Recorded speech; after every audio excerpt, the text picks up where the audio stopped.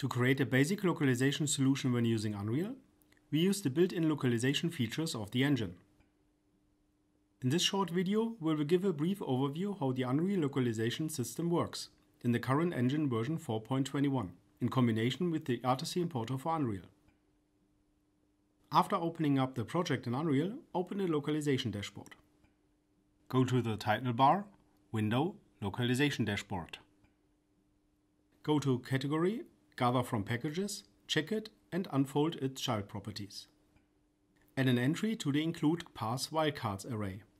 Select the path content slash articy content slash generated slash asterisk from your project to base the localization data on the strings in the assets generated by the Articy importer for Unreal.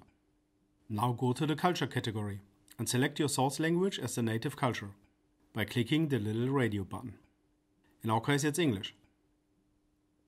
Then click Add New Culture and select your target language. I will choose German here.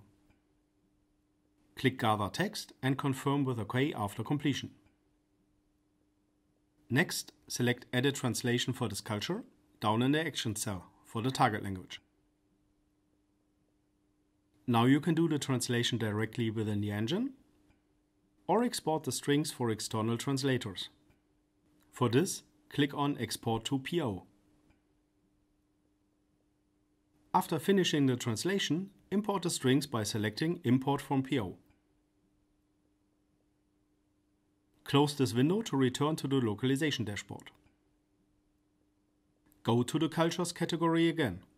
Now select Compile Text and confirm with OK after completion. Close the localization window and go to the project settings. Title bar, Edit, Project Settings. Now go to Project Packaging. Unfold the additional items in the list to get to Localizations to Package. To not having to go through the entire list, select the radio button Show Localized and check your translated target language.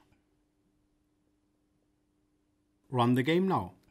When you select Play, the game runs in the editor, loading the native language. Selecting Launch runs the game outside the editor. The game automatically tries to load the language that matches the OS language setting. Otherwise, it will default to the native language. If your translated language is German, your operating system is set to German, but your game is still displayed in English, you might need to restart the engine once to have all changes properly updated. There is one additional thing I'd like to mention. If you want to filter your Articy export, because you might not need all properties for your project, you can do so with the help of the export rule sets and the filtering option via the data layout editor.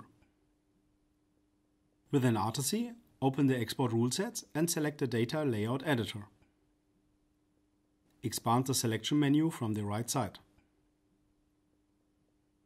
For example, we could decide here that we don't need menu text and stage directions for dialog fragments in our export.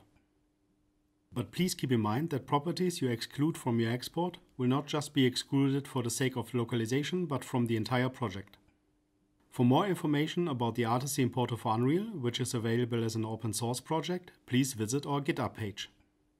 If you are using Unity or a different engine, we have dedicated videos for you regarding localization solutions with Articy. All links can be found in the video description below.